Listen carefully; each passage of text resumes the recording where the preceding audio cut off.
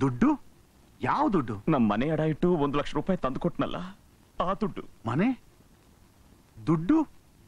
ನನಗೊಂದು ಅರ್ಥ ಆಗ್ತಿಲ್ವಲ್ಲ? ಸರ್ ನೀವ್ ಏನ್ ಮಾತಾಡ್ತಿದ್ದೀರಾ ಅಂತ ಗೊತ್ತಿದ್ಯೋ ಗೊತ್ತಿಲ್ವೋ ನನಗ್ ಗೊತ್ತಿಲ್ಲ ಸರ್. ಆದ್ರೆ ನೋಡು. ಕುಮಾರ್ ಸರ್? ಆ, ನೋಡು ಕುಮಾರ್. ಗೊತ್ತಿದ್ದು ಮಾತಾಡಿದ್ರೆ ರಾಜ್ಯ ಕಟ್ಟೋಕ್ಕಾಗತ್ತಾ? ದೇಶ ಆಳಕ್ಕಾಗತ್ತಾ? ಕ್ಲಿಯರ್ ಆಗಿ ಹೇಳ್ತಾ ಇದ್ದೀನಿ. ನನಗೆ ನೀನ್ ಯಾರು ಅಂತಾರೆ ಗೊತ್ತಿಲ್ಲ.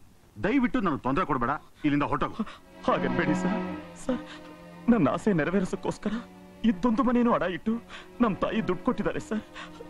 ಈಗ ನೀವು ಕೆಲಸ ಕೊಡಿಸ್ಲಿಲ್ಲ ಅಂದ್ರೆ ನಾನು ಉಸಿರೇ ಇಟ್ಟಿರೋ ಪೊಲೀಸ್ ಕೆಲಸದ ಜೊತೆ ನನ್ನ ಮೇಲೆ ಉಸಿರೇ ಇಟ್ಟಿರೋ ನಮ್ಮ ತಾಯಿನೂ ಕಳ್ಕೋಬೇಕಾಗುತ್ತೆ ಸರ್. Please sir please. ನಿಮ್ಮಮ್ಮನ್ನ ಕಳ್ಕೊಂಡ್ರೆ ದೇಶಕ್ಕೇನು ನಷ್ಟ ಆಗಲ್ಲ. ಆದ್ರೆ ಈಗ ನೀನ್ ಇಲ್ಲಿಂದ ಹೋಗದೆ ಹೋದ್ರೆ ಇವಳಿಗಂತೂ ನಷ್ಟ. ಯಾಕೆ ಹೇಳು? ಇವಳು ಅಮ್ಮ ಆಗೋ ಟೈಮು ಮೀರೋಗುತ್ತೆ. ಅದಕ್ಕೆ ಹೋಗು ಸರ್, ಸರ್, ಹೋಗು, ಹೋಗು please, ಹೋಗು, ಸರ್, ಏ, ಹೋಗಲೇ.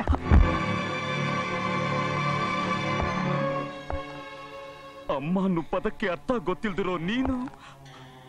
ನಮ್ಮಮ್ಮನ್ನ ನಾಲ್ಕು ಜನಕ್ಕೆ ಮೈಮಾರೋ ಇವಳಿಗೆ ಹೋಲಿಸ್ತಾ ಇದೀಯಾ? ಕೆಲಸ ಕೊಡಿಸ್ತೀರಿ ಅಂತ ನನ್ನ ಹತ್ರ ದುಡ್ಡು ತಗೊಟ್ಟು ಈಗ ನಾನು ಯಾರೋ ಗೊತ್ತಿಲ್ಲ ಅಂತೀಯ? ನಮ್ಮಪ್ಪ ಸತ್ರೆ.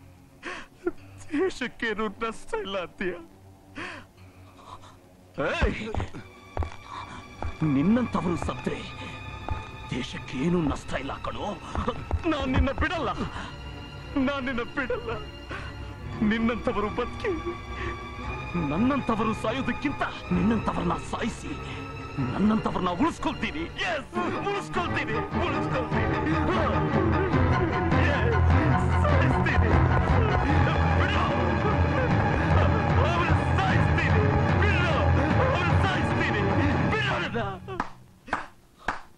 ಬೇಷ್ ಇದು ಒಬ್ಬ ಪೊಲೀಸ್ ಆಫೀಸರ್ಗೆ ಇರಬೇಕಾದ ಎಲ್ಲ ಅರ್ಹತೆಗಳು ನಿನ್ನಲ್ಲಿದೆ. ನಾನಿಟ್ಟ ಟೆಸ್ಟ್ ಅಲ್ಲಿ ನೀನು ಫಸ್ಟ್ ಕ್ಲಾಸ್ ಅಲ್ಲಿ ಪಾಸ್ ಆಗಿದ್ಯಾ ನಿನಗೆ ಕೆಲಸ ಗ್ಯಾರಂಟಿ. ನನ್ನಿಂದ ನಂಬಕ್ಕಾಗ್ತಿಲ್ಲ ಸರ್. ಕೆಲಸ ಸಿಗ್ಲಿಲ್ಲ ಅನ್ನೋ ಕೋಪದಲ್ಲಿ ದೇವರಂತ ನಿಮ್ಮನ್ನ ಬೈದು ನಿಮ್ಮ ಮೇಲೆ ಕೈ ಮಾಡಿಬಿಟ್ಟೆ ಸರ್. ದಯವಿಟ್ಟು ನನಗೆ ಕ್ಷಮಿಸಿ ಸರ್. ನನಗೆ ನೋ ಕ್ಷಮಿಸಿ ಸರ್. ನೋ ನಾನು ನಿನ್ನ ಕ್ಷಮಿಸೋದಿಲ್ಲ. ಸರ್. ನೀನೊಬ್ಬ police officer.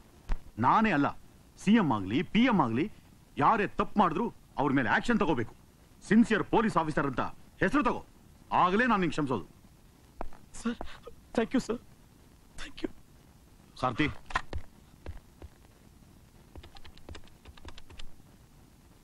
Hello police headquarters.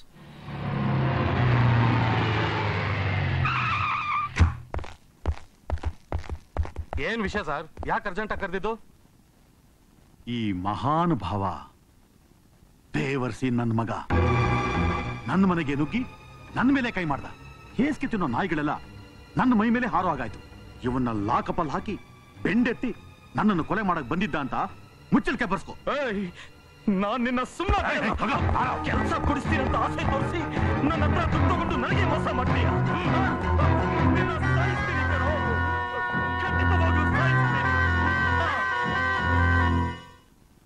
Amar? Amar?